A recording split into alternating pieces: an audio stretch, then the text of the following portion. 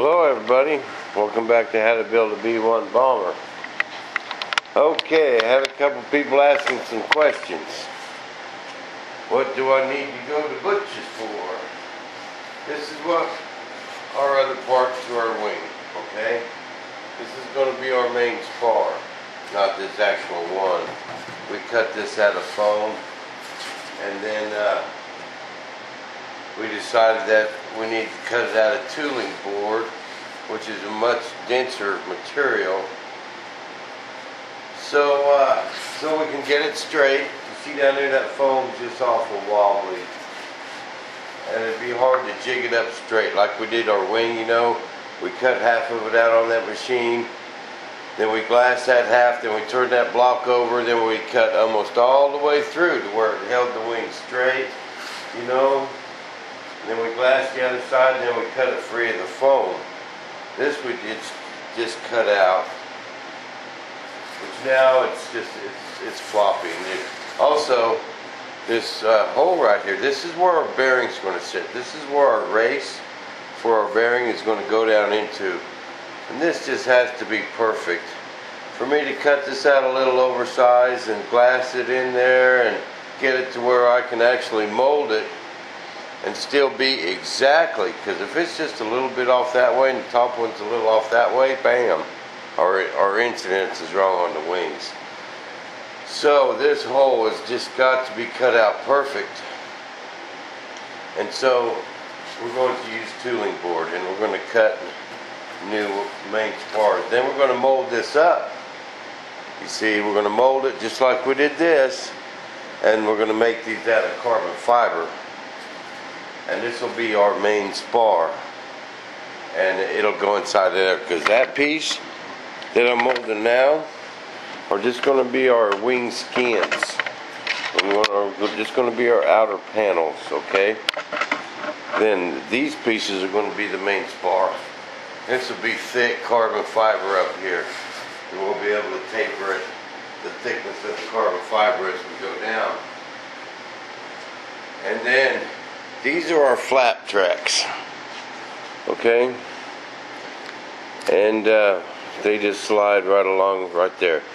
Butch is going to cut these out on his machine out of a phenolic material. This is just kind of a rough prototype to uh, see how it's going to work and to get the the movement right of the Fowler flap.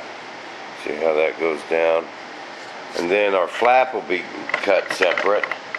And it'll be this piece here you see? And it goes out on the top more than it does the bottom. So it'll fit right up in there. And then this piece is actually our spoiler up in here in between them.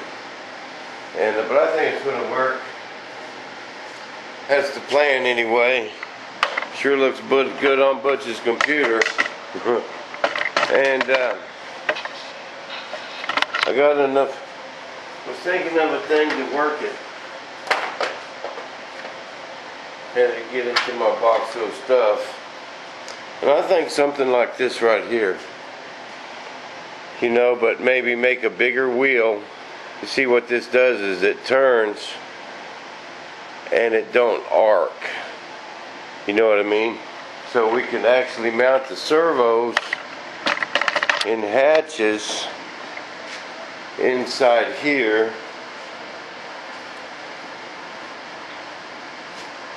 That will connect in our flap, maybe go through here that way. See, these blocks are going to connect to the spar right down there. and maybe make some bigger wheels which would give it more travel you can see that cable that's welded up there and then it's welded in the back. That's a pretty cool little deal. Something like that maybe but bigger and then big old high torque servos some 8611s uh, you know three of them going across there four. Might be better than them linear servos. I don't know, I have to get Butch's idea on this. I haven't showed him this.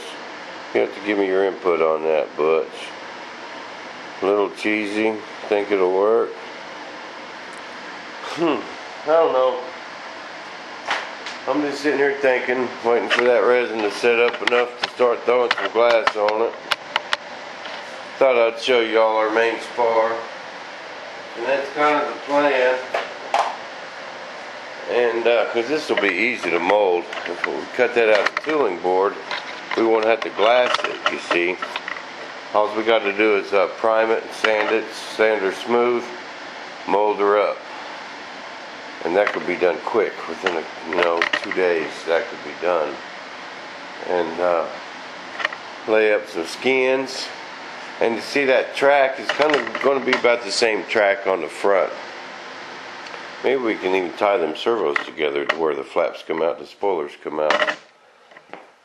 That's another idea. But uh, other than that, that epoxy's just about ready. But then,